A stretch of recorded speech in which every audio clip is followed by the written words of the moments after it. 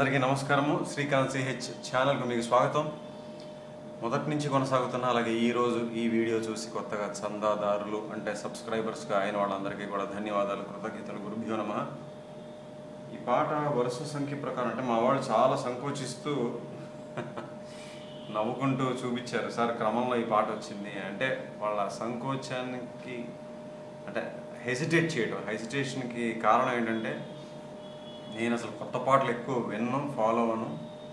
అసలు పదేళ్ళ క్రితం పాటల్లోనే పెద్దగా సబ్జెక్ట్ ఏమి ఉండలేదు ఉండట్లేదని నేను చెప్పాను చాలాసార్లు మీకు. అట్లాంటిది ఫైవ్ ఇయర్స్ బ్యాక్ పాట ఇది. అంటే నాకు దేని మీద వ్యతిరేకత లేదు సుమా కొత్త పాటలన్నీ బాగుండవు నేనేమి స్టేట్మెంట్ ఇవ్వట్లేదు. బట్ విన్నాను చాలా.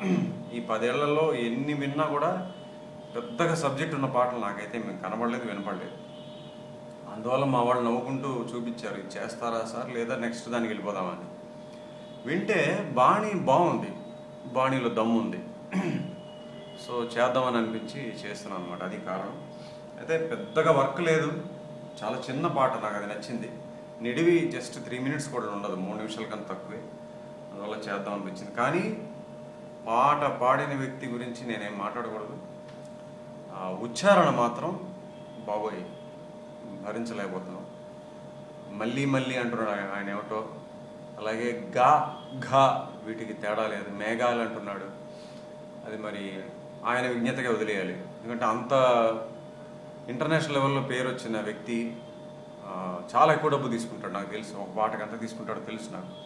సో అంత తీసుకుంటున్నప్పుడు ఒక బాధ్యత ఉండాలి. ఒక పాట ఆయన వాయిస్లోంచి బయటకు వస్తుంది కదా ఒక బాధ్యత ఫీల్ అవ్వాలి. భాష ఏ భాష వాళ్ళు వింటారు దాని మీద పట్టు లేకపోయినా కూడా తెలుసుకోవాలి. ఏ భాష పాడుతున్నాం ఆ భాషలో పదాలకు మీనింగ్ ఏంటి ఆ భావం ఏంటి మనం సరిగా ఉచ్చరిస్తున్నామా లేదో అన్నీ తెలుసుకోవాలి. మరి ఆ మాత్రం బాధ్యత లేకుండా ఆయన ఉండడం అనేది చాలా ఆశ్చర్యంగా ఉంది. ఈ మధ్య ఎవరో అన్నారు ఆయన ఏదో విమర్శించారు కూడా చాలా ఘాటుగా. నాకు ఇక్కడ విమర్శించాలని సరదా లేదు కానీ బాధ్యత లేకుండా ఎవరు ఈ పని చేసినా నాకు నచ్చదు. భాష పట్ల ఆయన తెలుగు రాకపోవచ్చు మాతృభాష తెలుగు కాకపోవచ్చు. నాది మాతృభాష తెలుగు కాదు. అయినా సరే నేను శాస్త్రీయ సంగీతం కోసం మా గురువుగారు నేర్చుకుంటే నేర్చుకున్నాను. అట్లా ఒక బాధ్యత ఫీల్ అవ్వాలి. పైగా అవకాశాలు వస్తున్నవన్నీ తెలుగు సినిమాల్లోంచి. అలాంటప్పుడు ఇంకెంత శ్రద్ధ తీసుకోవాలి ఆయన భాష పట్ల. అందువల్ల ఈ గాయకుడి గురించి ఎక్కువ మాట్లాడుకోవడం మంచిది. సరే మీకు నేను చెప్పక్కర్లేదు ఎవరు పాడారో. రచనేమో కిట్టు విస్సా ప్రగడ అని ఉంది. కరెక్ట్ కదా నాకు తెలియదు అసలు. ఎప్పుడు వెళ్ళలేదు పేరు. కిట్టు విస్సా ప్రగడ. హుషారు అనే సినిమాలోది. సినిమా గురించి విశేషాలు కూడా చెప్పక్కర్లేదు. ఎందుకంటే ఐడియా మంచిదే. నేను చూశాను ఎప్పుడో ఈ మధ్య టీవీలో చూశాను ఈ సినిమా. ఐడియా మంచిదే. కానీ ఐడియా కోసం ఎంచుకున్నటువంటి కథాంశం నాకు నచ్చలేదు పెద్దగా. పైగా చాలా అసభ్యంగా ఉంటుంది సినిమా. అందువల్ల ఏదో పర్వాలేదు. ఒకసారి చూడొచ్చు కానీ అంత గొప్ప విశేషాలు చెప్పుకునేంత గొప్ప చిత్రం అయితే ఏం కాదు. సో ఆ హుషారు అనే సినిమాలోది రెండు వేల పదిహేడు? పదిహేడు పద్దెనిమిదిలో వచ్చింది. ఉండిపోరాదే లిరిక్స్ బాగుంటాయి. లిరిక్స్ చక్కగా రాశాడు ఆయన. కిట్టు విశాప్రగడ ఇది ఏ షార్ప్ అనగా ఆరున్నర శృతిలో ఉంది A sharp or B flat minor scale పూర్తిగా మైనర్ స్కేల్ వెస్ట్రన్ మ్యూజిక్ మీద ఆధారపడి చేసినటువంటి పాట. తిస్రగతి అంటే three by four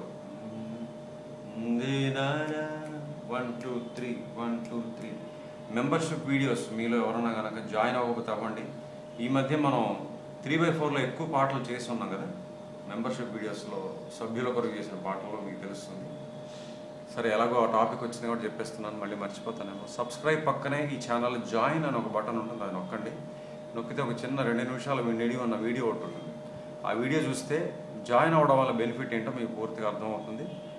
మీ ప్రశ్నలకు సమాధానాలు మీ సందేహాలు అన్నీ నివృత్తి అయిపోతాయి ఆ వీడియో చూస్తే.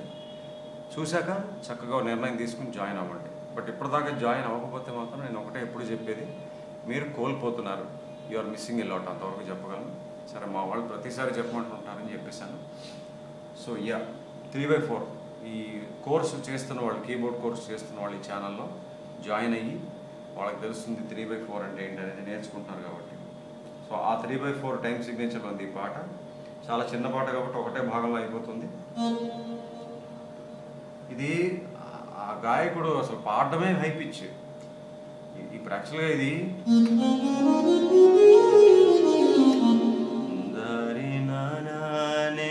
ఇక్కడ పాడిన ఏమీ తప్పులేదు కానీ ఆయన ఎత్తుకోవడం ఆయన ఇది పై స్థాయిలో ఇక్కడి నుంచి మొత్తం అంతా పైకి వెళ్తాడు. మరి ఏమిటో ఆ వాయిస్ ఇది నాకు అర్థం కాదు.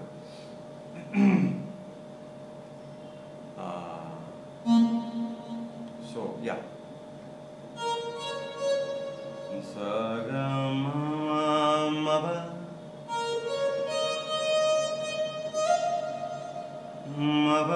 గమ మాప మవ మగ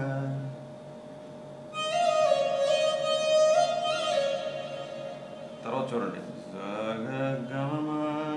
దని మబమ అది బాగుంది. చమత్కారంగా ఉంది ఆ ప్రయోగం. దని సాగమ తర్వాత పావ వస్తుంది అనుకుంటాం పా కాకుండా దని ఇచ్చాడు దని తర్వాత ఫ్రేజ్ ఇందకడిదే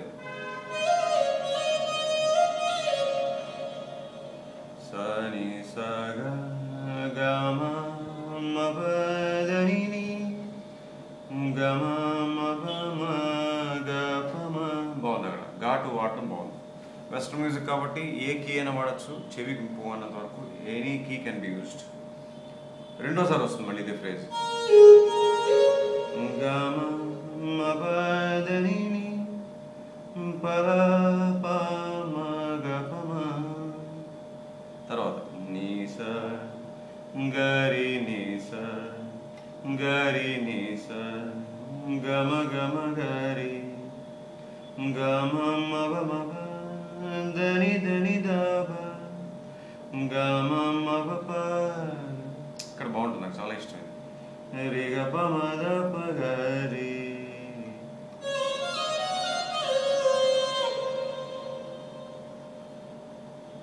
మళ్ళీ వస్తుంది అక్కడ గాయకుడు ఒక చిన్న సంగతి వేశారు.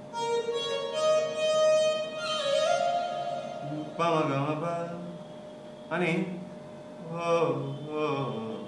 చిన్న హమ్మింగ్ పాడతాడు సో ఇది మొత్తం పల్లవి అనుపల్లవి సమాచారం. మొత్తంగా ఒకసారి వాయించిద్దామా?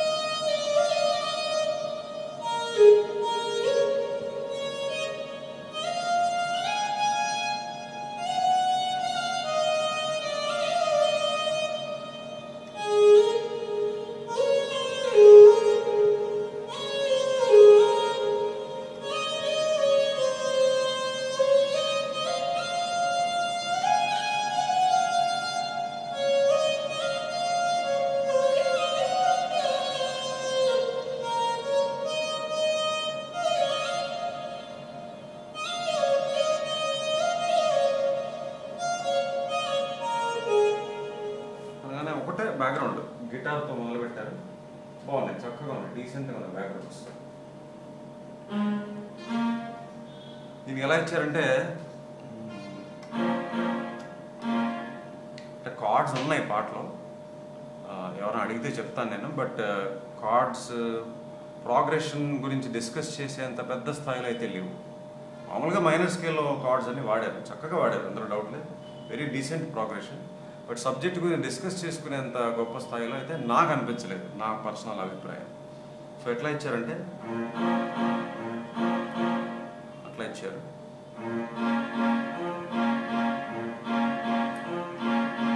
స్టైల్ త్రీ బై ఫోర్ కదా? వాల్స్ అంటారు. W A L T Z so ఆ స్టైల్లో ఉంటాయి ఈ కార్డ్స్ అన్ని కూడా వెనకాల స్ట్రింగ్స్ మీద.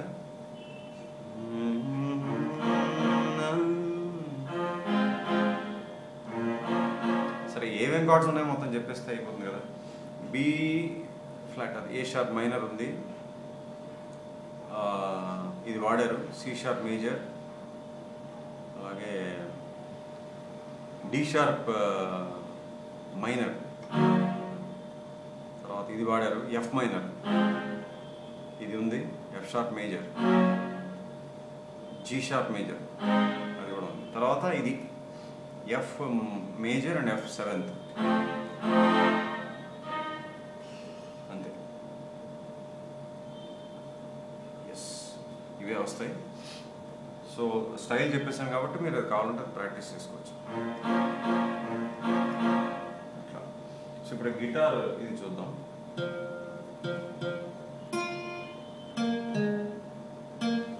కనబడుతుందా? కనబడట్లేదు. సారీ బమ గమ పస ని గమ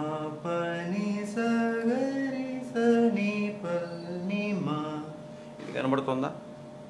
ఎస్ సో ఈ స్థాయిలో చెప్పుకుంటే బెటర్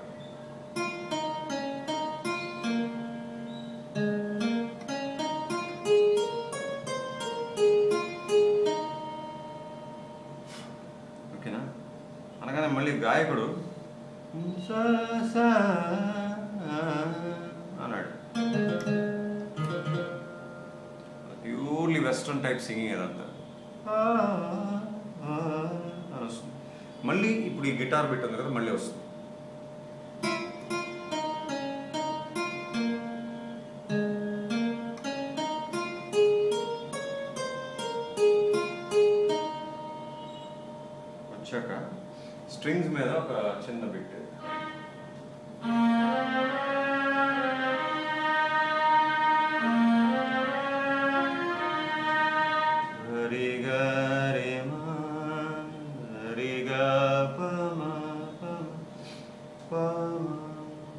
గాయకుడు? ఒక చిన్న హమ్మింగ్ ఉంటుంది అక్కడ.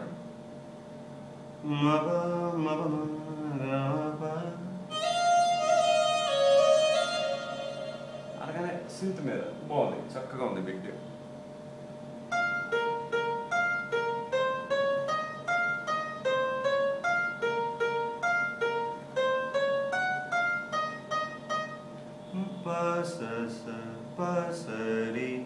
గమ పమరి గ పసస పసరి గద పమ అయిందా? అంతే. ఇక్కడి నుంచి చరణం ఒకే ఒక చరణం. చరణం మొదలవుతుంది. చరణం ఎలా ఉందంటే?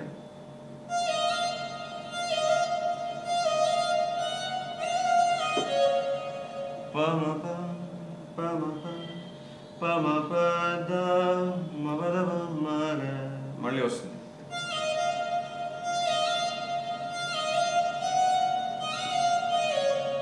తర్వాత.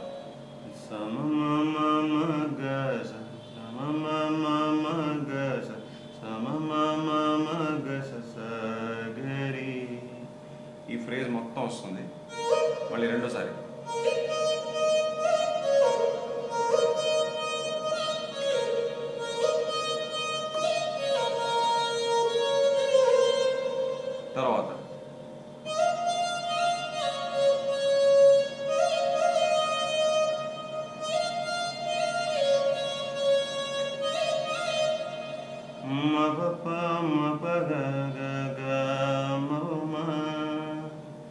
ma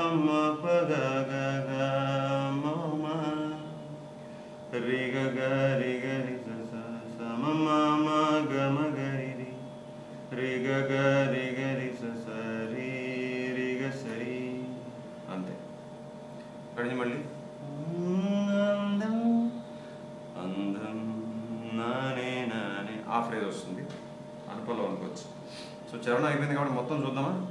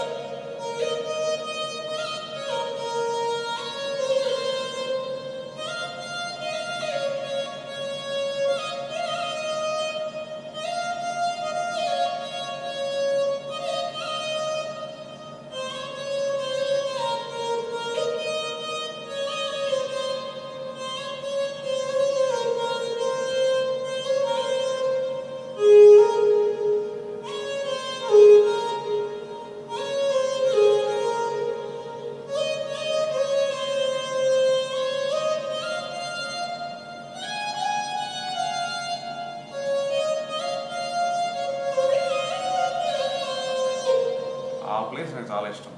కంపోజర్ పేరు చెప్పానా? సారీ మర్చిపోయాను. రాధానా అది ఎలా పలకాలో తెలియదు మీరు ఎవరికైనా తెలిస్తే చెప్పండి.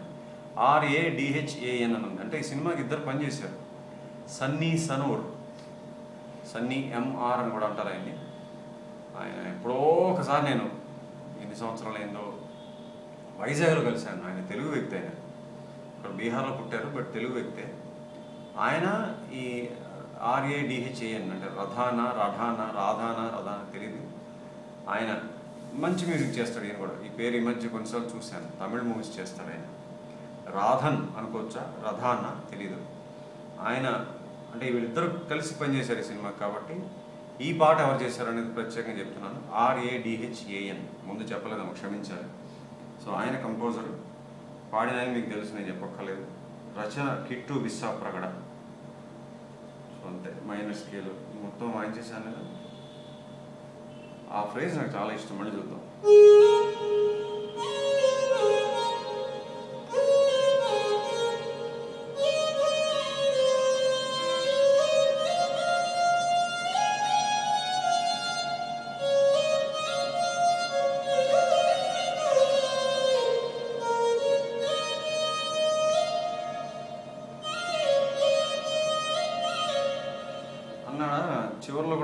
ఆఖరి పిల్లంతా పాడేసి గాయకుడు